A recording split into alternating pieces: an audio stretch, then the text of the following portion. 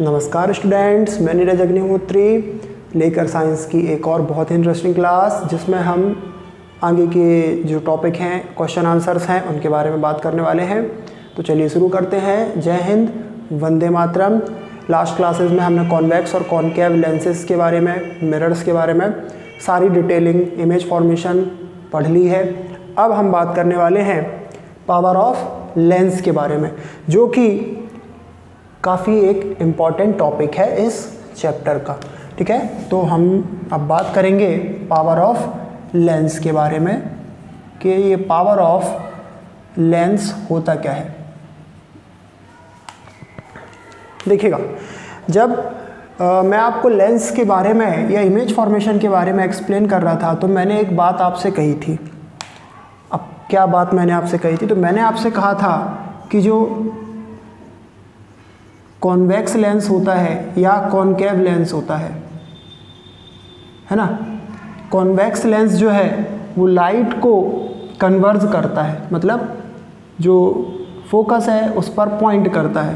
है ना? मतलब ये एक जो कॉन्वेक्स लेंस है, वो एक कन्वर्जिंग लेंस है।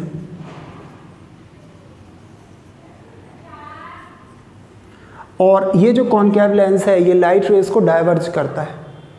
ठीक है? मतलब फैलाता है।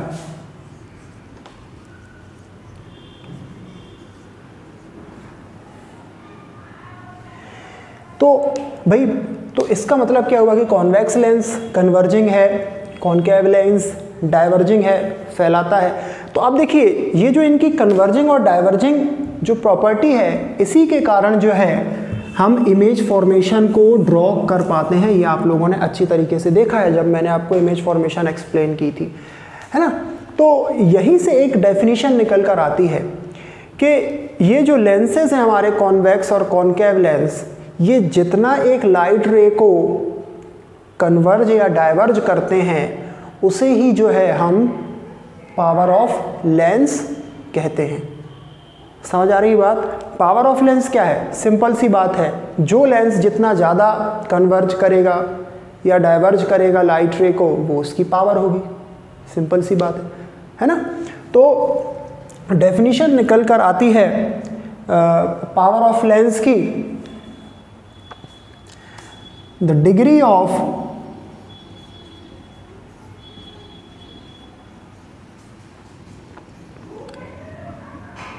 converging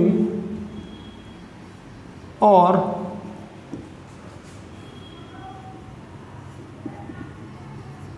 diverging a light ray.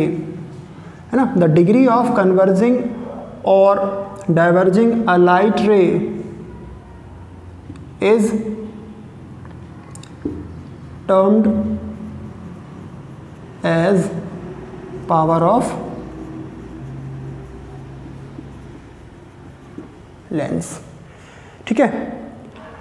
मतलब एक लेंस जितना एक लाइट रे को कन्वर्ज करता है या डाइवर्ज करता है, उसे हम उसका पावर कहते हैं और इसको शो किया जाता है।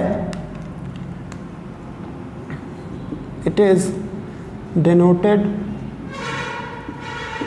by P ठीक है? ये एक डेफिनेशन हमने देखी। अब एक और बड़ी सिंपल सी डेफिनेशन है, जिसमें हम बात करते हैं फोकल लेंथ की। ठीक है? किसकी बात करते हैं? फोकल लेंथ की। ये जो फोकल लेंथ है है ना? इस फोकल लेंथ पर जो लेंस की पावर है, वो बहुत ज़्यादा डिपेंडेंट होती है। जितना ज़्यादा या कम फोकस होगा, उतना ही ज़्यादा वो लेंस जो है, वो डाइवर्जिंग होगा या कन्वर्जिंग होगा। ठीक है? अब ये क्यों मैं बोल रहा हूँ? क्यों? क्योंकि हमें मालूम है कि एक ऑब्जेक्ट की पोजीशन या इमेज की पोजीशन जो है, वो जब भी मैंने ड्रॉ की है तो आपको फोकस के बारे में ज़रूर एक्सप्लेन किया है, या फोकस के बारे में ज़रूर हिंट किया है। ये आप उन एग्जाम्पल्स या उन क्वेश्चंस से भी समझ सकते हो, जो कि मैंने पिछले क्वेश्चंस में समझाया था। तो ये जो पावर ऑफ़ लेंस है, ये डिपेंडेंट होती है फोकस पर भी, फोकल लेंथ पर भी, फोकस तो नहीं बोले चाहिए, फोकल लेंथ पर भी। तो यहाँ पर एक और डेफिनेशन इसकी निकल कर आती है, और वो है, यहाँ मैं इसको अलग कर देता हूँ। The power of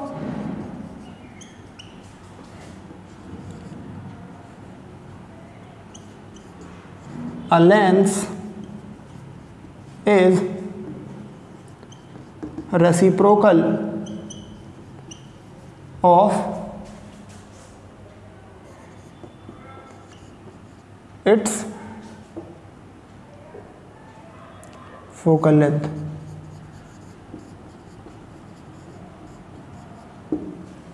ठीक है? मतलब जो पावर ऑफ़ लेंस है, वो फोकल लेंथ का रेसिप्रोकल होती है। या हम ऐसा भी बोल सकते हैं the reciprocal of focal length is called power of lens है ना? यहाँ पर मैंने एक सिंपल स्टेटमेंट लिख दी है कि the power of lens is reciprocal reciprocal of its focal length लेकिन यदि मैं डेफिनेशन वाइज बोलता हूँ तो मुझे क्या लिखना होगा यहाँ पर? The reciprocal of focal length of a lens is called the power of lens. ठीक है तो मैं यहाँ पर लिख देता हूँ in other words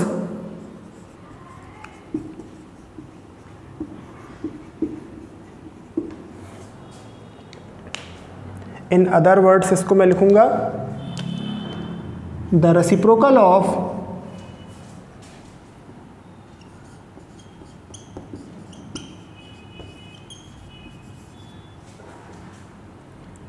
focal length of a lens is power of lens simple है? ठीक है ना?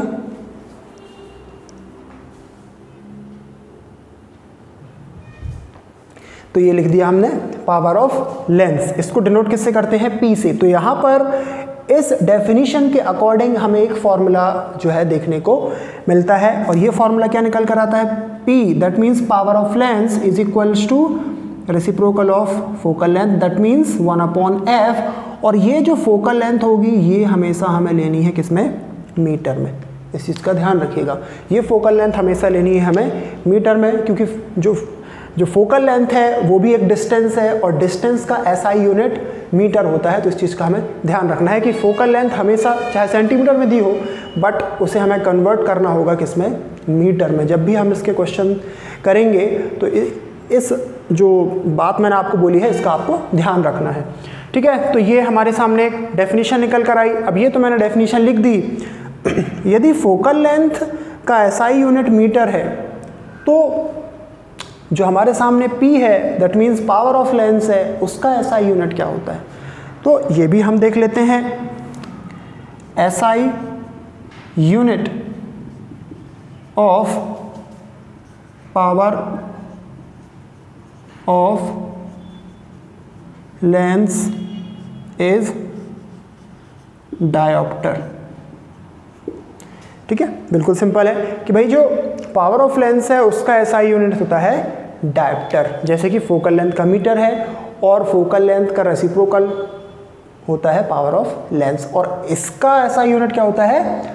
डायप्टर तो ये था पावर ऑफ़ लेंस अब पावर ऑफ़ लेंस का कहाँ यूज़ होता है, ये मैं आपको बता देता हूँ अभी। फिर बाद में और अच्छे से उसके बारे में डिस्कस कर लेंगे, क्योंकि नेक्स्ट चैप्टर में ये पावर ऑफ़ लेंस के बारे में बहुत सारी चीज़ें जो हैं हमें भी डिस्कस करनी है। तो आपने देखा होगा कि जो स्पेक्स होते हैं, जो आप चश्मे वगैरह लगाते हैं, है ना, जिनको आइज़ में प्रॉब्लम होती है, दूर का नहीं दिखना या पास का नहीं दिखना, उसको भी कुछ टर्मिनोलॉजी से समझाऊँगा मैं आपको अगले चैप्टर में। तो उसके लिए डॉक्टर आपको एक लेंस बना के देता है। आपके जो स्पेक आप लगा रहे हैं उसमें एक लेंस लगा होता है, जिसमें आपकी आई के अकॉर्डिंग एक करेक्टनेस के लिए लेंस लगा होता है। 0.5 plus one minus one something इस टाइप के कुछ, है ना? तो ये उनकी पावर कहलाती है। अब इसको कैसे समझा जाता है, कैसे निकाला जाता है तो ये नेक्स्ट चैप्टर में है, वो मैं आपको बता दूँगा। फ़िलहाल अभी के लिए तो ये पावर ऑफ़ लेंस इतना ही था। अब हम बात कर लेते हैं क्वेश्चन आंसर्स की।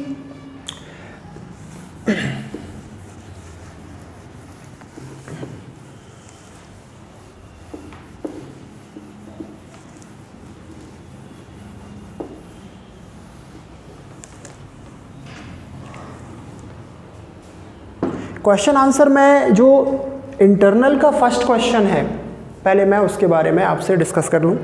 इंटरनल का हमारा question number one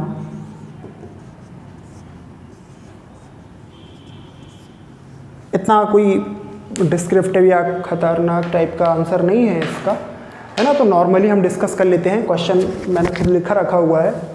A ray of light travelling in air enters obliquely into water मतलब एक लाइट रे है। ये एक लाइट रे है। ये भाई एयर में पास हो रही है। है ना? यहाँ से जो है, ये वाटर यानी सेकेंड मीडियम आ गया।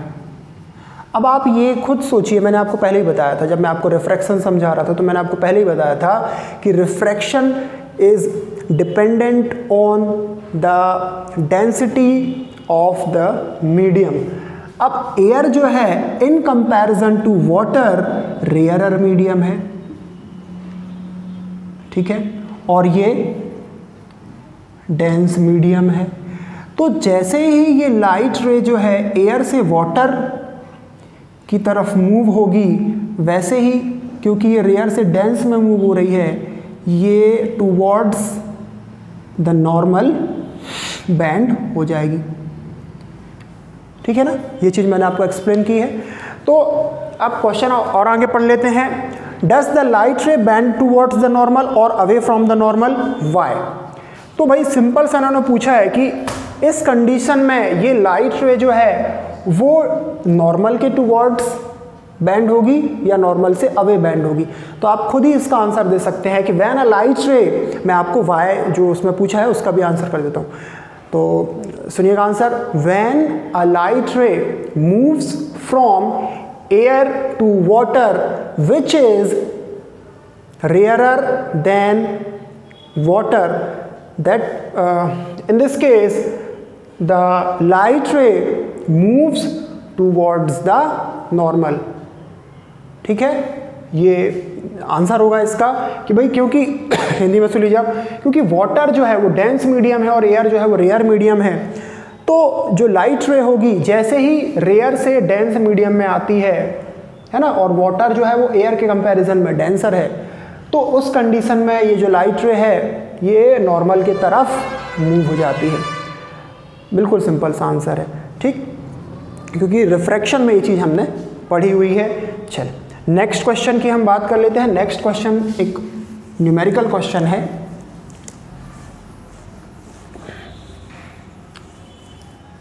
इसको पहले मैं सॉल्व करूँगा, उसके बाद आपको एक्सप्लेन कर दूँगा।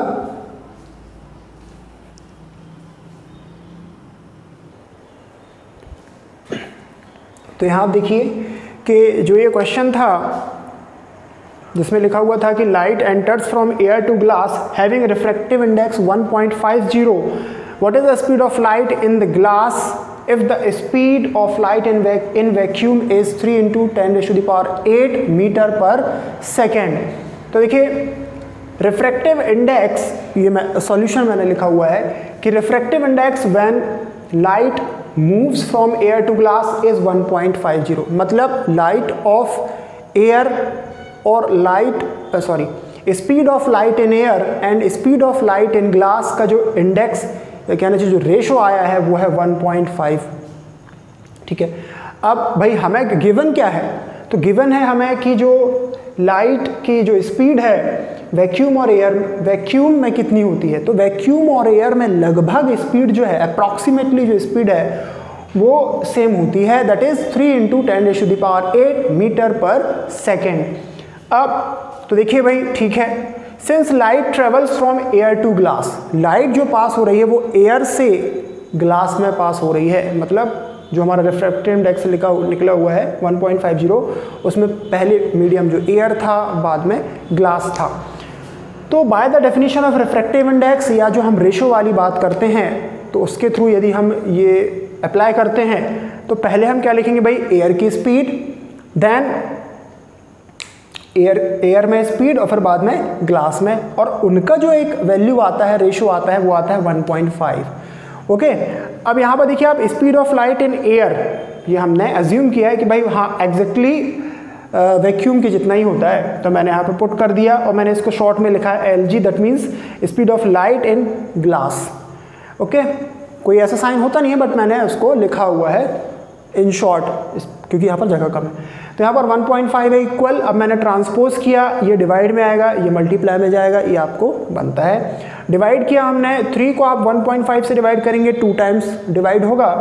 तब यहाँ से भाई निकल के आता है कि speed in glass of light है two into ten raise to power eight metre पर सेकेंड बिल्कुल सिंपल सा सॉल्यूशन था मैथमेटिकल क्वेश्चन था ये, है ना?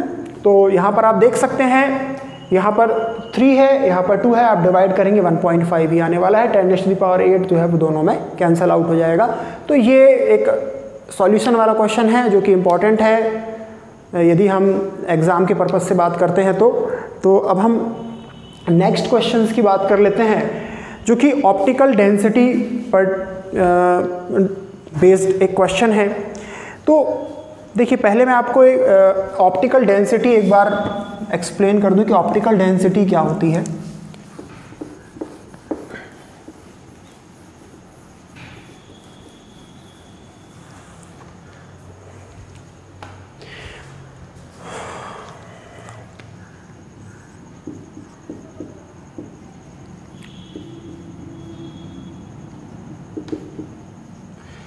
बार हम ऑप्टिकल डेंसिटी के बारे में बात कर लें, बहुत कोई ख़ास ऐसा टॉपिक नहीं है कि बहुत इंपॉर्टेंट हो, लेकिन हमारे चैप्टर में है तो बात कर लेते हैं इसके बारे में। देखिए ऑप्टिकल डेंसिटी से मतलब ये है कि कोई भी मीडियम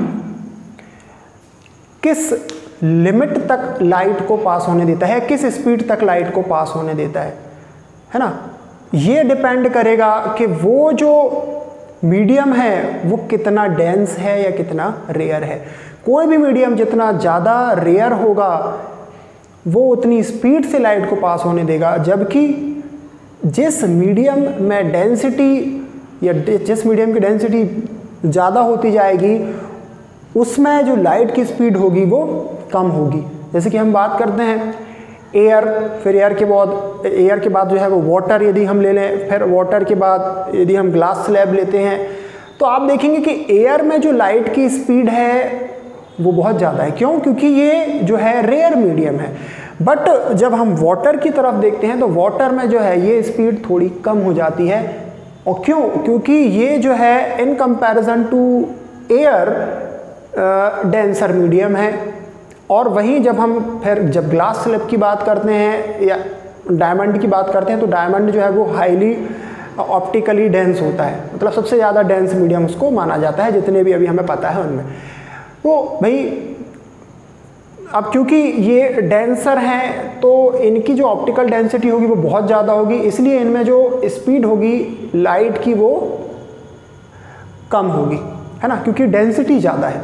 तो ये कहलाता है ऑप्टिकल डेंसिटी ऑप्टिकल डेंसिटी कम है दैट मीन्स के जो मीडियम है वो रेयर है तो वहाँ पर जो लाइट रे है, वो स्पीडली पास होगी, जबकि जो ऑप्टिकल डेंस मीडियम होते हैं, जिनकी डेंसिटी बहुत ज़्यादा होती है, उनमें लाइट की स्पीड कम होती है। ठीक है? तो समझ गए आप मेरी बात? अब इस क्वेश्चन में उन्होंने पूछा है, दो चीज़ें उन्होंने पूछी हैं कि भाई हाईली हाईएस्ट ऑप्टिकल डेंस और लोएस्ट ऑप्टिकल डेंस मीडियम के नाम बताने हैं आपको।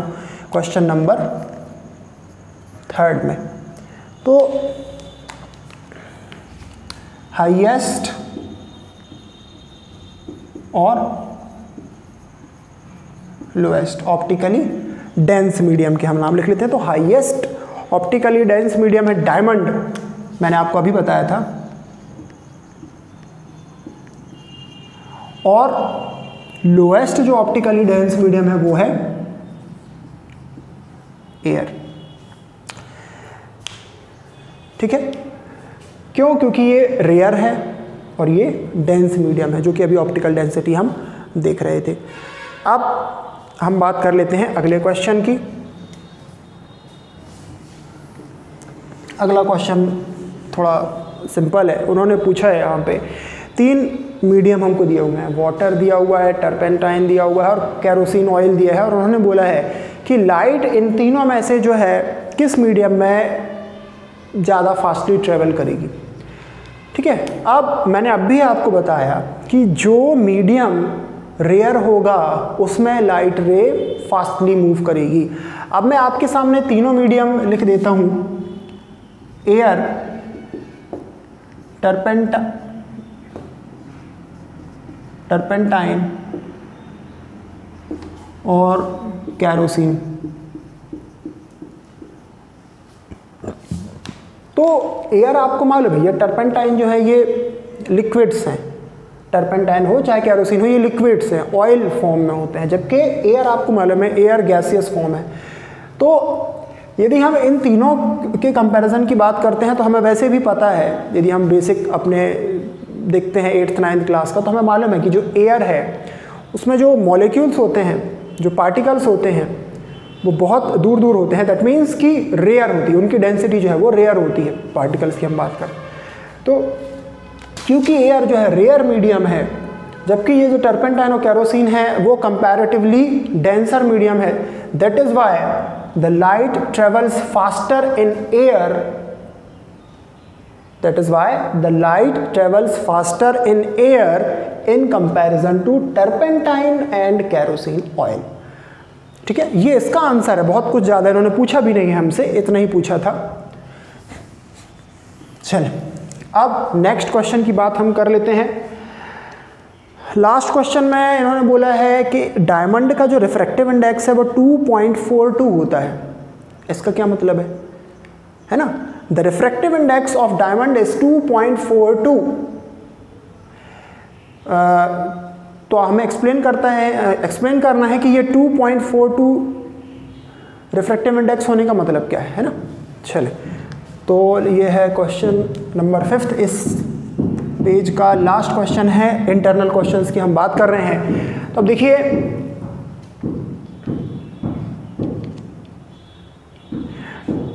ऑप्टिकल डेंसिटी डायमंड की ऑप्टिकल डेंसिटी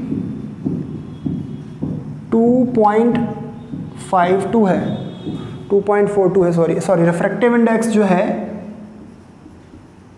इसका 2.42 है. और मैंने आपसे बोला था कि जो डायमंड है, वो high highest optically dense medium होता है.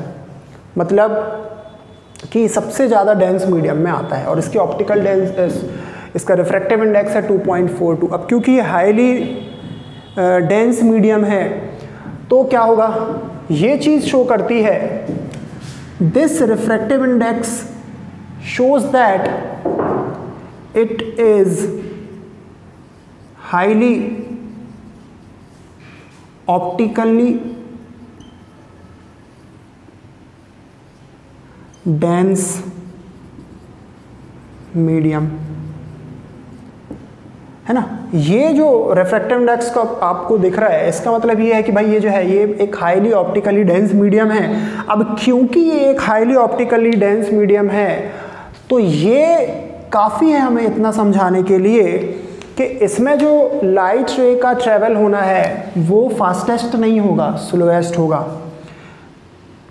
लाइट तो हमें दूसरी चीज़ यहाँ समझ में आती है light travels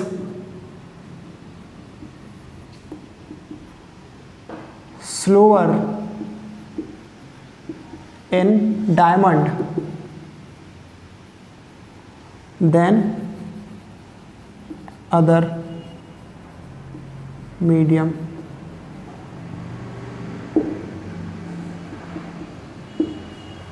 ठीक है ना? ये आपको एक ही आंसर में लिखना है। मैंने केवल आपको उस 2.42 का मतलब समझाने के लिए दो चीज़ें लिखी हैं कि इस रिफ्रैक्टिव इंडेक्स का मतलब है कि ये हाईली ऑप्टिकली डेंस मीडियम है। अब क्योंकि ये हाईली ऑप्टिकली डेंस मीडियम है इसलिए जो उसमें लाइट रे ट्रेवल करेगी, वो स्लोअर होगी अदर मीडियम्स के कंपैरिजन में। ठीक है? तो ये इतनी जो बातें थी, इतने क्वेश्चन आंसर्स मुझे आपको एक्सप्लेन करना था इस वीडियो में। बाकी जो है, मैं आपको अगले वीडियो में समझाऊँगा कि अगले क्वेश्चन आंसर्स में क्या क्या चीज़ें हैं। तो अभी के लिए फ़िलहाल इतना ही। बने रहिए मेरे साथ, घर पर रहिए, स्वस्थ रहिए और पढ़ाई ऐसे ही जारी रखिए क्योंकि अब जून का महीना भी लगभग हाफ़ एंड होने वाला है। तो अब थोड़ा सा स्पीड बढ़ाएँ आप अपनी। जय हिंद, वंदे मातरम। मिलते हैं नेक्स्ट क्लास में।